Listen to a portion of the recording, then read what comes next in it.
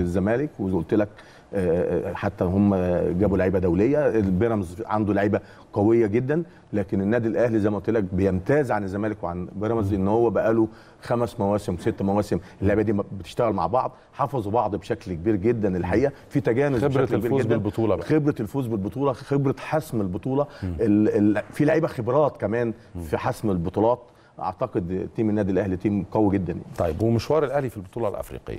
الأهلي قدر يعدل الأوضاع ويعود لصدارة مجموعته ثم يتخطى عقبة المنافس ودلوقتي إحنا بنستعد لحورية كوناكري الغيني بلقاءين هتبدأ المباراة الأولى خارج ملعبنا ثم تكون مباراة العودة آه، في آه، يعني وسط جماهيرنا وعلى ملعب من ملاعبنا سواء كنا بنتكلم عن استاد السلام أو استاد برج العرب وده مرتبط بالخبر اللي بدأنا بيه هذا اللقاء. شايف إزاي حضرتك كابتن رمضان فرص الأهلي في البطولة الأفريقية والفوز بيها وبالتالي أو بطبيعة الحال في حالة الفوز إن شاء الله العودة للمشاركة بقوة في كأس العالم للأندية؟ أكيد. أنا أنا في رأيي إن فرص النادي الأهلي بحسم بطولة البطولة الأفريقية الموسم ده بتتجاوز بتروح لأبعد من 90% كمان. آه، تيم النادي الأهلي قادر ولعيبته بجهازه الفني الحقيقة بمجلس إدارته بالنادي الحقيقة قادرين إن هم يحسموا البطولة الموسم ده. إحنا يمكن فقدناها في في الموسم اللي فات آه، بشكل يعني آه، كنا أقرب. لكن أعتقد إن النادي الأهلي فرصته كبيرة جدا إن هو يحسم السنة دي. الأرقام بتميل آه، آه، لصالح النادي الأهلي وترجح آه. كافة النادي الأهلي عندنا بعض الإحصاءات منها إن النادي الأهلي يصل لرقم استثنائي هو أول نادي في القارة الأفريقية يصل للفوز رقم 100 على ملعبه في استاداته ووسط جماهيره في القارة السمراء وفي البطولة الأفريقية. المؤشرات دايما بترجح كافة النادي الأهلي وبتقول إنه الأكثر خبرة والأقرب للفوز يا كابتن رمضان أكيد أكيد بتفق مع المؤشرات ديت وبقول إن فعلا النادي الأهلي بيمتلك لعيبة على مستوى عالي جدا وبيمتلك لعيبة من الخبرات وبيمتلك لعيبة من الخبرات في التعامل مع القارة الأفريقية الحقيقة. ويقدروا أو قادرين إن هم يحسموا البطولة الموسم دوت بشكل قوي جدا إن شاء الله بإذن الله. طيب خلينا نتكلم عن مطالبة الاتحاد الأفريقي بإن الاستادات اللي هتستضيف مباريات الأهلي الدولية في مصر مع المنافسين من القارة الأفريقية تصل بالسعة الجماهيرية أو نسبة الحضور الجماهيري إلى 75%. أعتقد إن ده مطلب يتوافق مع رغبة النادي الأهلي اللي هو الأكثر تضررا من غياب الجماهير. أكيد أكيد طبعا. يعني أنت لو طلبت مثلا من جمهور النادي الأهلي 120 ألف يروحوا مباراة هيروحوا مباراة 120 ألف. فأعتقد النادي الأهلي بالعكس ده يبقى مستفيد من ال- من القرار ده بشكل كبير جدا. لكن هي بس ال- المشكلة إنك يبقى في تواجد بقى لإستاد مثلا زي برج العرب زي استاد القاهرة اللي هو يشيل العدد ده. هل في جزء من خلال خبراتك وتاريخك مع النادي الأهلي كلاعب قبل أن تكون مدرب أو محلل فني كابتن رمضان هل في جزء أو عنصر من عناصر قوة النادي الأهلي إحنا مفتقدينه بعدم وجود الحضور الجماهيري أو عدم امتلاء الاستادات بالجماهير أكيد أكيد. هقول- هقول لك حاجة يا أستاذ محمد. إحنا آه على مدى على مدى السنوات اللي فاتت دي كلها آه كان النادي الأهلي لما بيكون جمهوره موجود في الملعب مثلا ب 60000 و 70000 والاعداد اللي كانت بتحضر المباريات أعتقد أنت كنت بتخلص مباريات في 20 دقيقة. يعني تنزل في 20 دقيقة وخصوصا كمان المباريات الأفريقية. ده في في آه، آه، أندية أفريقية كتير جدا جدا جدا كانوا مثلا آه، استاد القاهرة ده رعب بالنسبة لهم عشان جمهور النادي الأهلي. مش الاستاد نفسه كمبنى عشان جمهور النادي الأهلي كان الكثافة اللي كان بيتواجد بيها الحقيقة. وطبعا التشجيع وال- والمساندة الكبيرة جدا جدا. جمهور النادي الأهلي مساند بشكل كبير جدا على مدار المواسم اللي فاتت دي كلها في بطولات النادي الأهلي إذا كان المحلية أو الأفريقية. يعني شايف إن دي ميزة أو جزء من قوة النادي الأهلي لا يكتمل إلا بامتلاء الاستادات بجماهير. أكيد أكيد. وبتميزه عن باقي المنافسين. وأكتر نادي وأكتر نادي محتاج ديت وأكتر نادي فعلا يبقى هيتميز عن كل الأندية آه، النادي الأهلي. وأكتر نادي مؤثرة عليه سلبا. طبعا طبعا. عدم وجود الجماهير طبعا بالشكل طبعا الكامل. طبعا. أنا في رأيي ان إن حتى أداء لعيبة النادي الأهلي مع الجمهور بيزيد بنسبة كبيرة جدا جدا. يبقى إحنا كلنا. يسعدنا المؤشر الجديد موافقة أجهزة الأمن الأخبار اللي بتقول إن في موافقات أمنية على وصول الساعة الجماهيرية أو عدد الجماهير اللي هتحضر مباراة الأهلي مع حورية كوناكري الغيني على ملعب الأهلي ووسط جماهيره إلى 60 ألف مشجع. أعتقد ده ده مؤشر إحنا محتاجين نصل إليه بشكل دائم في الفترة الجاية. ده ده مؤشر هايل وقرار طبعا 10 على 10 وأعتقد النادي الأهلي هيستفيد بيه بشكل كبير جدا جدا جدا في مساندة جمهوره الكبير قوي اللي هيسانده في خلال المباراة اللي جاية. طيب هنتكلم شوية عن الجهد الكبير جدا المبذول من مجلس الإدارة والمسؤولين في النادي كل الدوائر الإعلامية والصحفية المرتبطة بالنادي الأهلي وبقناة الأهلي أيضا عن اللائحة التنفيذية أو لائحة النظام الأساسي لأول مرة نشوف هذا الكم من الجهد والزخم الكبير قوي للتواصل مع كل التيارات والقطاعات داخل النادي والنتائج. شايف إزاي الفترة دي والإعداد للائحة بالشكل ده؟ هو أكيد النادي الأهلي نموذج ومؤسسة يعني لو بنتكلم على مؤسسات الناجحة في مصر أعتقد النادي الأهلي من من أكثر المؤسسات اللي ناجحة في مصر. والمؤسسات القوية جدا جدا. ويمكن هو نموذج الحقيقة كمان بيحتذى بيه كل كل الأندية في كل قراراته. يعني حتى لما ابتدى بيعمل لائحة جديدة أعتقد اللي حصل في خلال الأسبوعين اللي فاتوا دوت ده حاجة مؤشر حاجة محترمة جدا جدا. إزاي أنت بتدخل الأعضاء الجمعية العمومية بتاعتك في النقاش ومناقشات وتوصل لأفضل أفضل حاجة. وفي بنود كانت محطوطة واتناقشت واتشالت. وفي بنود اتضافت. أعتقد ده مش موجود في أي نادي في مصر.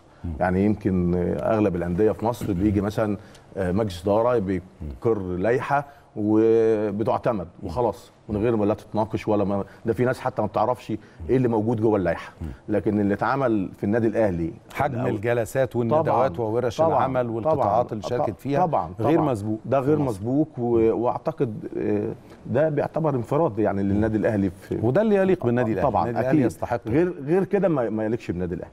اللي طيب، النادي الأهلي عمله في خلال الفترة اللي فاتت حاجة محترمة جدا جدا جدا. كابتن رمضان أنا في كل الحوارات في الفترة الجاية مع أي نجم من نجوم الرياضة سواء من نجوم النادي الأهلي أو من نجوم أي مؤسسة كروية أو رياضية أخرى في مصر أو في المنطقة العربية أو القارة الأفريقية هبدأ أسأل الفترة الجاية إلى حين إعلان نتيجة آه، جائزه أفضل لاعب في العالم عن التوقعات. آه، أنا عندي حسابات مختلفة شوية وبقولها لأول مرة إني بتوقع إن محمد صلاح إن شاء الله هيفوز بالجائزه كنت مستبعد ده تماما بعد الشكل اللي ظهر عليه محمد صلاح مع منتخبنا وظهر عليه منتخبنا في نهائيات كأس العالم واللي أعتقد إنها خدت الكثير من رصيده من حجم المتابعة الدولية والاهتمام بيه كواحد من أشهر الأسماء اللي بتشارك في البطولة. أعتقد إن الشكل اللي ظهر بيه منتخبنا في البطولة ظلم نجومنا وظلم محمد صلاح في المقام الأول ورجعوا خطوات للخلف.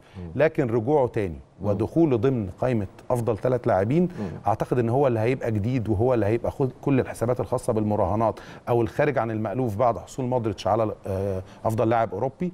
وبعد حصول كريستيانو على ألقاب وألقاب في الفترات السابقة أعتقد إن محمد صلاح ال- السيناريو كله بيقول إن هو الأقرب. حضرتك رأيك إيه؟ أنا أنا في رأيي إن محمد صلاح أفضل لعيب كرة في العالم في الموسم اللي فات. آه، لما آه، يبقى هداف الدوري الإنجليزي أفضل لاعب في الدوري الإنجليزي والدوري الإنجليزي كلنا عارفين طبعا قوته عاملة إزاي. أعتقد إن صلاح عمل موسم استثنائي الموسم اللي فات ويستاهل إن هو فعلا يبقى أفضل لعيب على مستوى العالم. ما بتستبعدش ده. لا، ما لا. تشوفش إن دخوله من باب التكريم أو وجود اسمه إنه فرض نفسه بهذا المستوى ضمن قائمة أفضل ثلاث لاعبين وان وإن ال- الاتحاد الدولي سيقف عند هذا الحد. شايف إنه ممكن ممكن. يعطيه أو تكون هي الجائزه الكبرى له بقى الحصول على لقب أنا في. رايي في رأيي إن بنسبة كبيرة جدا محمد صلاح هيحصد الج- الجائزه ويمكن واضح إمبارح حتى في مباراة الأمس الحقيقة آه، آه، آه، التعليقات اللي بره في, أوروبا على أداء محمد صلاح آه، كلها تعليقات إيجابية جدا. آه، وفي متابعة لنجم عالمي. يعني كمان إحنا كنا ممكن نلعب مباريات ما حدش يتابعنا. بالعكس أنا في رأيي إن إحنا هنشوف أحمد فتحي في الفترة اللي جاية دي أو المرحلة اللي جاية دي كلها بحالة تانية خالص. هتشوف أحمد في النواحي الهجومية وهتشوف أحمد في النواحي الدفاعية بتاعته هتشوف فيه حيوية هت... أنا في رأيي إن ال... يعني الاستبعاد ده هيرجع أحمد فتحي خمس سنين الحقيقة. ويحاول يدخل في منافسة مع محمدي ومع هاني ومع كل العناصر. وهيثبت نفسه كمان. لكن لا، بالرغم من ده شايف إن محمد هاني هيبقى له فرص مع طبعا طبعا. طبعا. محمد هاني من من اللعيبة الشباب المميزين جدا جدا. طبعا محتاج برضو الخبرات ومحتاج ياخد الحقيقة مباريات عشان يثبت وجوده لكن هو من اللعيبة المميزة جدا الحقيقة في إذا كان في منتخب في النادي الأهلي أو في منتخب مصر. طبعا مش هننسى آه، من نجوم أو يمكن أن يكون نجم نجوم هذه المباراة الشناوي لأن في طبعاً، فترات طبعاً. كان فيها نوع من الثقة انعكست على أداء منتخبنا بعد التفوق بفارق أربع أهداف.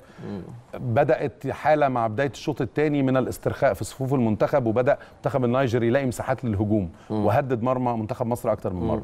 رأيك إيه في ثبات مستوى وفي ارتفاع مستوى الشناوي من المباراة الأخرى؟ هو الأول قبل ما هتكلم على الشناوي هتكلم على قد إيه لما بتبقى أنت team منظم team بتنفذ team فيه التزام تظهر بالشكل اللي إحنا ظهرنا بيه بالشوط الاولاني.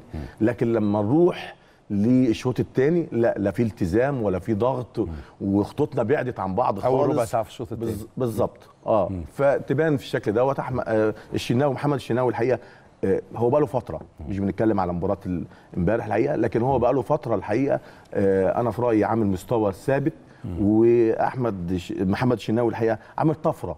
يعني عامل طفرة كبيرة جدا في مركز حراسة المرمى. مدي ثقة الحقيقة للمدافعين مدي ثقة للفرقة مدي ثقة للأجهزة الفنية إذا كان النادي الأهلي أو إذا كان في آه، منتخب مصر. محمد الشناوي طبعا عامل طفرة كبيرة جدا في مستواه في الفترة اللي فاتت. خارج المنافسة في المرحلة دي. الحقيقة لا يعني آه يعني ما فيش حد قريب منه.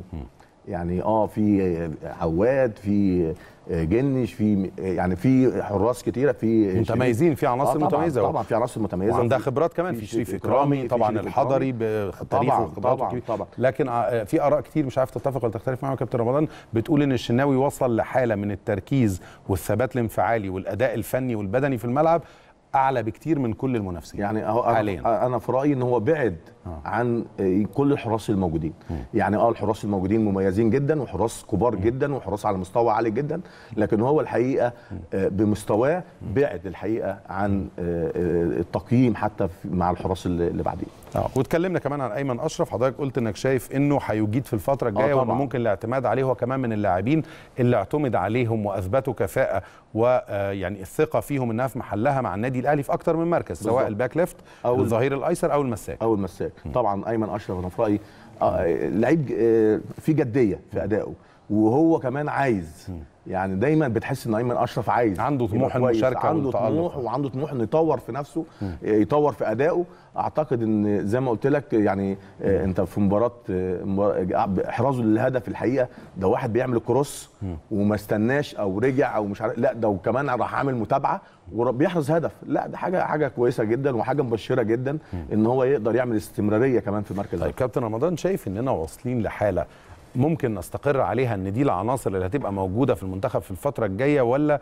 حضرتك من المدربين أو من أصحاب الخبرات في الكورة اللي بيميلوا لإن دايما يبقى فيه منافسة دايما المنتخب يبقى فيه مجموعة بتتغير ثلاث أو أربع أسماء لازم يبقى المدرب حاطط بينهم منافسة وبين باقي العناصر الموجودة في الدوري المصري والناس هتدخل وتخرج من المنتخب بنسبه في الفترة الجاية. هو طبعا إحنا لازم نفرق ما بين آه، منتخب مصر أو منتخب ونادي.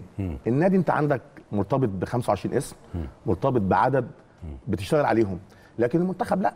مفتوحة بالنسبة لك إن أنت يعني أنت النهارده بتتكلم مثلا في عمرو السولية. عمرو السولية في حالة إن هو بيرجع فورمته و- ويبقى سليم عمرو السوليه ده المفروض يبقى موجود في في, في المنتخب. في منتخب مصر مين و- تاني؟ مين من أبناء الأهلي أو من نجوم النادي الأهلي يستحق إنه يكون في الفترة الجاية لو كان في أحسن حالاته في ال top form بتاعته فنيا وبدنيا يستحق يكون في منتخب مصر. يعني أنا أنا في رأيي إن آه، عمرو السوليه ووليد سليمان رغم إن الناس بتتكلم على وليد حتة السن. لكن أنا في رأيي يعني من من أكتر اللعيبة اللي بيعمل ثبات في المستوى.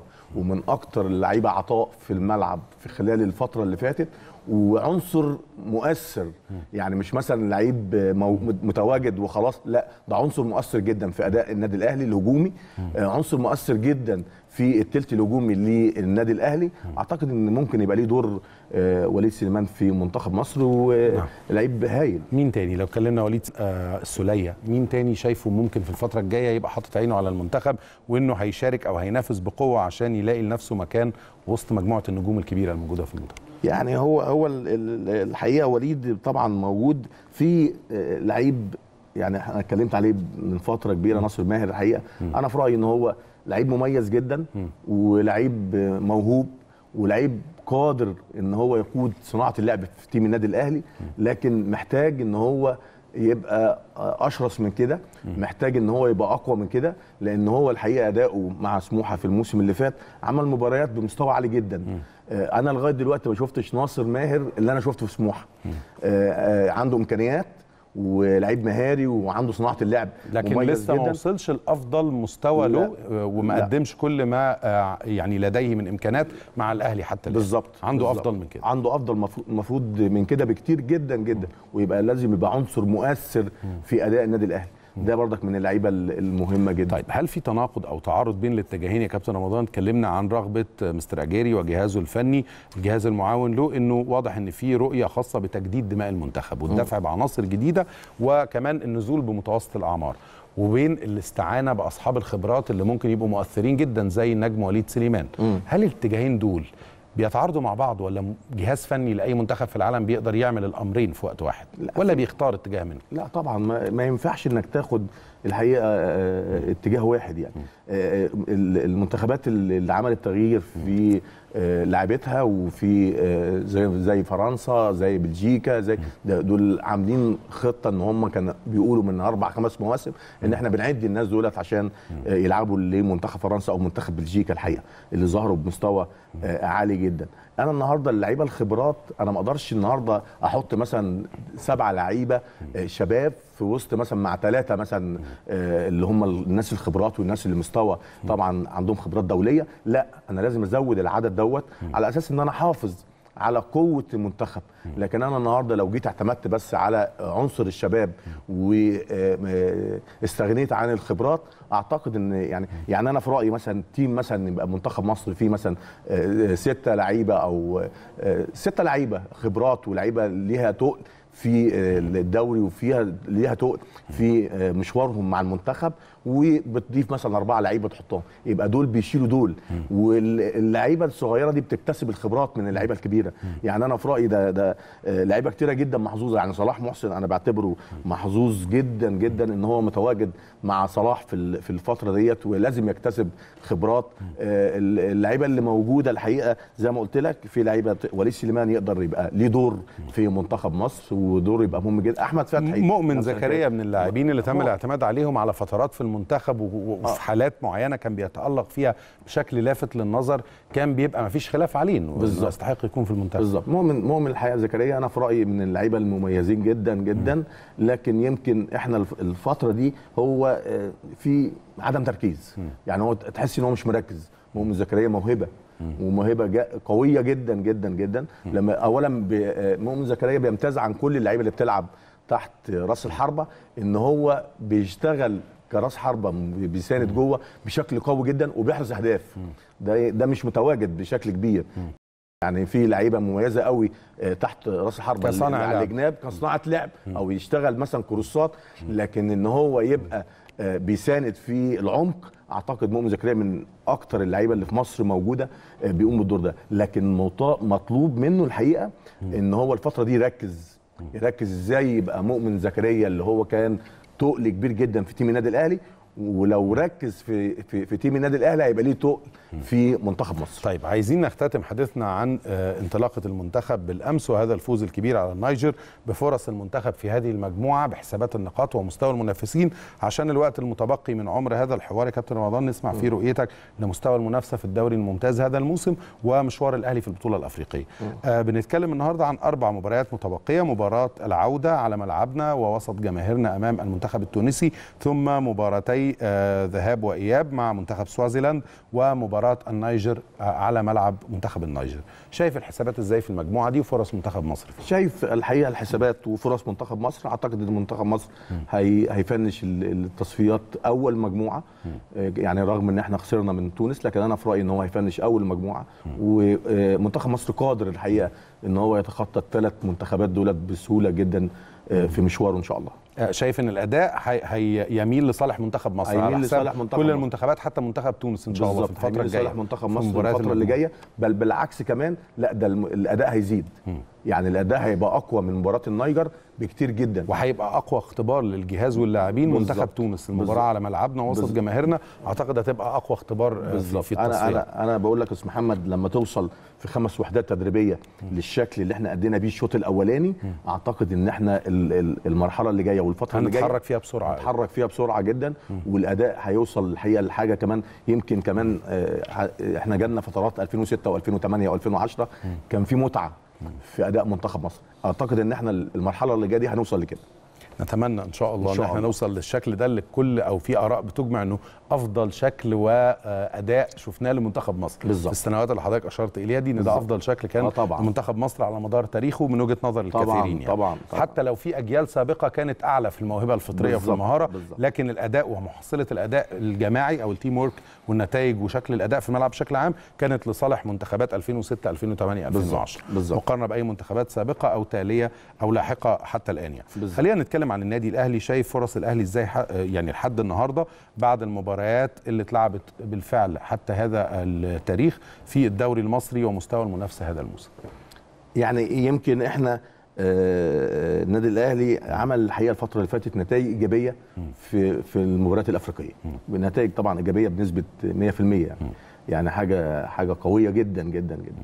آه، ال- ال- الدوري الحقيقة إحنا برضك عاملين نتائج بس برضك في النتائج مش متظبطة قوي. وفي نفس الوقت إحنا حتى في المباريات الأفريقية اللي إحنا عاملين فيها آه، ال- ال- الأربعة فوز اللي إحنا آه، حصلناهم أعتقد إن إحنا أدائنا مش هو ده الأداء آه، بتاع النادي الأهلي.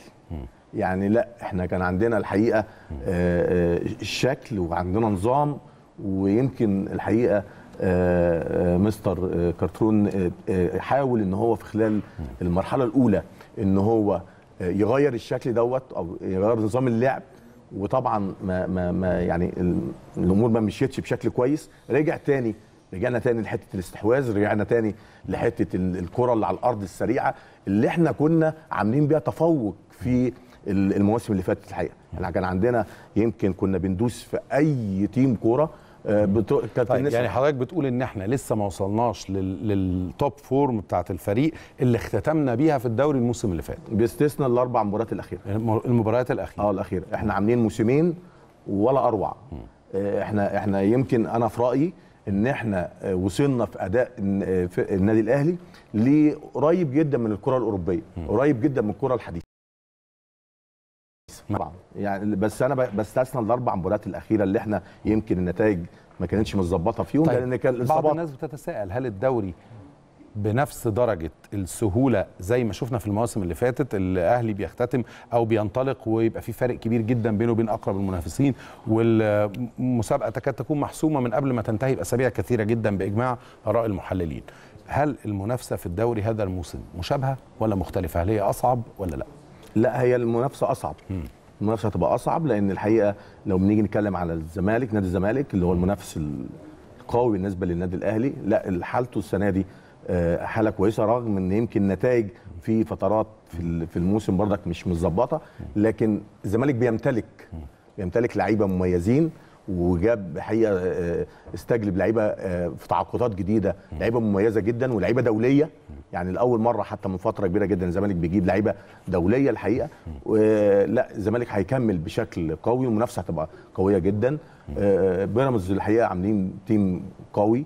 آه، يمكن آه، بدأوا آه، آه، ما كانش فيه تجانس و- و- لكن آه، team عندهم لعيبة جايبين لعيبة على مستوى عالي جدا وخصوصا في ال- آه، اللعيبة البرازيليين كمان. آه، عنده لعيبة محلية كمان آه، team team قوي و team كويس و team هيعمل استمرارية. يعني ممكن في مثلا تقول مثلا إيه لا ال team ده مش هيكمل. لا ال team ده هيعمل استمرارية. نادي الزمالك هيعمل استمرارية في المنافسة. مين تاني؟ لو لو حضرتك بتحط مجموعة فرق شايفها أو مؤشراتها إنها هي الأقرب للمنافسة مع النادي الأهلي آه، على مسابقة أو على لقب الدوري الممتاز هذا الموسم. ذكرت الأهلي حتى الآن والزمالك وبيراميدز. آه. مين تاني شايفه قريب من خريطة المنافسة في قمة الدوري؟ لا ما حدش تاني هيكمل للآخر. يعني في ناس هتكمل لكن هيبقوا بعد بعد الأهلي والزمالك طب والفرق اللي. كانت متقدمة دايما في المواسم اللي فاتت وبتنافس على بطولات أحيانا حتى لو مش بطولة الدوري لكن بتشارك وبتنافس على كأس مصر يعني دايما موجودة في الصورة زي المصري وزي سموحة وعندهم الإمكانيات أو منظمين وأصبح لهم شكل. شايفهم فين من المنافسة الموسم ده كابتن؟ لا بعيد. لا بعيد. يعني أنا أنا بقول المنافسة هتبقى آه، أهلي زمالك بيراميدز. لأن ال- المصري مش مش أداؤه بتاع المواسم اللي فاتت. المصري عمل ثلاث مواسم الحقيقة مع حسام حسن آه، اولا آه، شكل حتى آه، اولا كان بيستخ- بيستخدم أسلوب الضغط وكان بيعمل الضغط مثلا ممكن يوصل ل 70 دقيقة وده مش موجود حتى في الكورة أساسا يعني أو في التدريب. كان بيعمل حاجة سوبر الحقيقة. ال- المصري افتقد دي والمصري الحتة ال- ال- الهجومية بتاعته برضك يمكن أقل من الثلاث مواسم اللي فاتت. هو يمكن ماشي كويس في البطولة الكونفدرالية لكن أعتقد المنافسة في البطولة المحلية هتبقى صعبة جدا. آه، سموحة يمتلك إمكانيات ويمتلك إمكانيات مادية عالية جدا بتمتلك إمكانيات فنية لكن آه، لا مش هيخش في المنافسة. طيب هنتكلم كمان يعني هنا حضرتك بتقول إن توقعاتك وتحليلك للمستوى الفني والأداء والأرقام والنقاط حتى الآن بتقول إن المنافسة ستكون آه، يعني قاصرة على ثلاث فرق الأهلي والزمالك وبيراميدز هذا الموسم حسب رؤيتك يا كابتن بالظبط،. ولكن الأهلي هل هو رغم صعوبة المنافسة الأقرب للقب ولا لأ؟ وهل شايف إن مسيرة الجهاز الفني الحالي طبعا بقيادة كارتيرون ومعاه المدرب العام وصاحب البصمات طبعا والخبرات والنتائج الجميلة اللي حققها في الفترة اللي فاتت كمدير فني في بعض الفترات. كابتن محمد يوسف شايف إن الأهلي عنده آه، ميزة أو فارق نوعي عن باقي المنافسين ولا لا؟ وهو الأقرب لحسم اللقب لصالح ولا لا؟ أعتقد النادي الأهلي عنده ميزة مش موجودة يمكن حتى في الزمالك ومش موجودة في بيراميدز إن هو عنده تيم بقاله أربع مواسم مع بعض أو خمس مواسم مع بعض ففي التجانس والربط الحقيقة موجود بشكل كبير جدا. آه، النادي الأهلي مجرد إن الفرقة توصل للفورمة بتاعتها ونلعب الكرة بتاعتنا اللي كان بن... اللي كنا بنلعبها في المواسم اللي فاتت الموسمين اللي فاتوا الحقيقة أعتقد إن النادي الأهلي قادر إن يحسم ويحسم بشكل قوي جدا مسابقه الدوري. وعلى مستوى العناصر الموجودة في صفوف النادي الأهلي شايف إنها الأميز على الإطلاق أفضل مجموعة لاعبين. حتى لو أشدنا بلاعبين أو عناصر مميزة موجودة عند أي منافس. بالظبط رغم إن في عناصر مميزة جدا. الناس بتتابع مباريات منتخب مصر دلوقتي عشان محمد صلاح. ال- كل التعليقات اللي موجودة في ال- ال- ال- الفضائيات الأوروبية والجرايد الأوروبية كلها إشادة امبارح بشكل كبير جدا يعني حضرتك. بتميل لأنه هو الأقرب للفوز هو بالجائزة. أنا أنا في رأيي إن هو الأقرب وهو يستحق آه، إن هو يحصد الجائزة طيب إزاي نحاول نكرر التجربة. عندنا تجارب كبيرة جدا للاعبين نجحوا في الاحتراف الخارجي أو الأوروبي. لاعبين ما نجحوش في نفس التجربة ورجعوا بسرعة أو ما استمروش أو بدأوا في أندية وذهبوا إلى أندية أقل منها. يعني التجربة نزلت بيهم أو آه، صارت بيهم بشكل سلبي. وتراجعوا مش تقدموا. إزاي نستفيد بتجربة محمد صلاح في إن عندنا عناصر؟ في أجيال سابقة عندنا عناصر. في أجيال قادمة إن شاء الله هيكون في عناصر في عناصر قد تفوق حتى في المهارة والموهبة الف... والإمكانات الفردية. لكن ما حققوش نفس النجاح. إيه الدرس اللي المفروض اللعيبة تستفيدوا من محمد صلاح عشان يحققوا نفس القدر من النجاح ويمشوا بنفس التركيز؟ الحقيقة محمد صلاح نموذج آه، نموذج متكامل. يعني اولا لعيب كرة قوي جدا جدا جدا مركز عايز من اللعيبة اللي محافظة على نفسها بشكل كويس قوي. آه، من اللعيبة اللي بيطور في أدائه يعني من كل أسبوع. أعتقد كمان مدربه الحقيقة في ليفربول آه، ليه دور كبير جدا جدا جدا في تطور أداء محمد صلاح. محمد صلاح آه، يمكن الراجل اللي عمل له حاجة كان بيلعب على الخط على طول. آه، في في مباريات كتيرة جدا الموسم اللي فات وإحنا بنتابع بقى موجود. جوه ال 18 موجود طول جوه الوقت، 18 خلاص. على طول طوال الوقت. وإزاي بيخليه يستخدم المساحة دي من بره لجوه. في في مباريات كتيرة جدا كان بيستخدمه كمهاجم أساسي. أعتقد يعني النموذج ده لازم فعلا يبقى واصل لكل اللعيبة اللي عاوزة توصل. يعني إحنا فعلا زي ما أنت بتقول يا أستاذ محمد في لعيبة على مدار المواسم اللي فاتت آه، قدموا حاجات كويسة وعندهم إمكانيات. يعني كان عندهم إمكانيات جامدة جدا جدا إن هم فعلا يوصلوا للي وصل فيه محمد صلاح. لكن هي زي ما قلت هو هنا بيقول للكل إن مفيش مستحيل. بالظبط. إن اللي يجتهد آه طبعا, طبعاً. توفيق ربنا سبحانه وتعالى. وحسابات يعني قبل كل شيء. فكرة التوفيق والنجاح اللي بيهبه ربنا سبحانه وتعالى لمن يشاء. ولكن للمجتهد. بالظبط. هو اجتهد آه. وتخطى حتى أعتقد إنه تخطى حدود موهبته هو كلاعب. حقق أكبر بالظبط. من حجم موهبته. بالظبط. نتائج الإنجازات اللي بيحققها محمد صلاح أعتقد إنها تفوق حتى موهبته ال- الفطرية كلاعب. أكيد أكيد. ده ده هقول لك حاجة ده اللي وصل له محمد صلاح ده ده آه، في الفترة دي أو في الموسم اللي فات أكتر من حلمه هو نفسه. يعني حتى حتى حتى الجمهور الكورة في مصر أو الشعب المصري حتى وهو بيحلم لمحمد صلاح إنه يوصل لدي ما, ما حدش كان ما كانش يصدق حد يتوقع لا، وصوله للمستوى يتوقع ده المنافسة على المستوى. الأول خلاص آه طبعا. هو خلاص وحضرتك قلت مدربه غير من طريقته للأفضل وأعتقد إن محمد صلاح نفسه بيدي مثال إنه ما اكتفاش بأي تجربة ناجحة وإنه كل موسم بيتعلم حاجات جديدة من الأجهزة الفنية اللي بيشتغل معاها وبيتعاقد مع الأندية اللي هي بتتولى مهمتها. عشان كده المفروض أي لعيب كورة عاوز يوصل للدرجة اللي فيها محمد صلاح أو حتى تحتيه بشوية لازم يبقى محمد صلاح نموذج ليه. خلي سقف طموحه بلا نهاية. بالظبط. سقف طموح بلا نهاية وهيوصل مفيش مستحيل. هو محمد صلاح قال للعيبة الكره كلها اللي موجودة في مصر مفيش مستحيل. وفعلا مفيش مستحيل. بس بشرط بش أو بشروط. ال ال إنك أنت تبقى آه، بتحط نفسك بقى في في, في النظام الاحترافي كل صح حاجة. وكل حاجة. كل حاجة ده صح. ده نظام تغذية وشغل بدني وتركيز وحفاظ على نفسك. نظام غذائي ومواعيد. نوم واستماع لكلام المدربين وأمور خططية. كل حاجة. أكيد. يعني صعب الأمر يتشرح حجم ال- النجاح ده صعب إن إحنا نشرحه في دقيقتين أكيد هي. هي ما عادش فيها فهلوة. فيها نظام. أنت هتخش جوه النظام ده صح؟ زي ما هو جه الفترة اللي فاتت وقال لك إن يا جماعة إحنا عاوزين نتعامل كذا كمحترفين عشان هو شاف ده بره شاف ده إزاي بيعاملوه بره محمد صلاح راح لا أنا. الخلاف ده تحديدا أنا بطلع نفسي من التعليق حضرتك قول رأيك بحرية كاملة. أنا لأن كان ليا رأي في الفترة اللي فاتت إن كان لازم كل حاجة تتم في آه، الكواليس وفي الغرف المغلقة. عشان ما تؤثرش على تركيز ال- المنتخب ولا تركيزه هو كنجم مؤثر طيب. ولا تؤثر على المناخ الكروي والرياضي وإحنا عندنا ارتباطات رسمية. ما هو إحنا كنت بتمنى إن هم يفهموا وجهات نظر ما- بعض والحمد لله تم احتواء الأمر خلاص تخطينا ده. آه طيب. ما هو هو برضك ال ال الأمور دي اللي إحنا بنتكلم فيها. بقول محمد صلاح نموذج للعيبة. آه، آه، نموذج يعني آه، زي مثلا أنا أبقى في غرفة نومي مثلا ولا في الفندق ولا بتاع يجي لي حد 4 الصبح ولا 5 الصبح ولا 6 الصبح الكلام ده مش موجود. هو بيقول لهم الحاجات اللي هو بيشوفها بره. محمد صلاح الالتزام اللي بيبقى مفروض على أي معسكر محمد صلاح لما راح آه، حضور الجائزة بتاعت أفضل ثلاث لعيبة في أوروبا راح بطريقة خاصة. إحنا ما بنقولش كده ولا ولا حاجة لكن يا جماعة حافظوا على اللعيبة ال- النجوم الكبار جدا جدا اللي موجودين عندنا وإحنا ممكن نعمل بيهم حاجات يعني إحنا جداً. محتاجين المسؤولين في اتحاد الكورة يسمعوا ويستفيدوا بخبرات نجومنا اللي في الأندية الأكثر تطورا في العالم بالظبط. والدوريات الأكثر تقدما في العالم في نفس الوقت محتاجين لاعبينا بمحبة وباهتمام وبنية إن إحنا نصل للأفضل يبقوا بينقلوا ده بالصورة الأفضل بالظبط. اللي تحقق نتائج أفضل لمنتخبنا أكيد. وللوسط الكروي في مصر بشكل عام أكيد أكيد آه، في النهاية إحنا بنشكر حضرتك على وجودك معنا شكرا جزيلا لك نجم. الكرة المصرية والنادي الأهلي سابقا الكابتن رمضان السيد بشكرك وسعداء بوجودك معنا النهارده في الأهلي ليه أنا متشكر جدا يا أستاذ محمد وسعيد جدا إن أنا كنت موجود معاك النهارده شكراً جزيلاً. قناتنا والقناة الحبيبة لينا. نسعد بيك دايما في. بيتك وعلى شاشة قناة النادي الأهلي. كابتن رمضان. آه بشكر حضراتكم على المتابعة. نهاية هذا اللقاء ابقوا معنا. فقراتنا مستمرة من خلال الأهلي الليلة عندنا النهارده حوار أيضا مستفيض عن الجهد المبذول وخطوات العمل وصولا إلى أفضل شكل